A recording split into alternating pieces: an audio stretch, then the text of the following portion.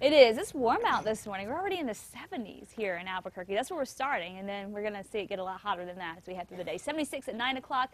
For your lunch hour, already at 90 degrees, and then we're talking highs in the upper 90s. So it is going to be very hot again. Basically a repeat of yesterday. We'll have uh, northwest winds at about 15 to 25 miles an hour this afternoon, so just a little bit of, the, of a breeze, but more extreme heat for the state. Sunny skies, staying dry for today. We will see some changes moving in, though, later this week, and I'll talk about that coming up right now. 72 degrees in Albuquerque. So get ready for another hot one. I'll have your 70 forecast coming up.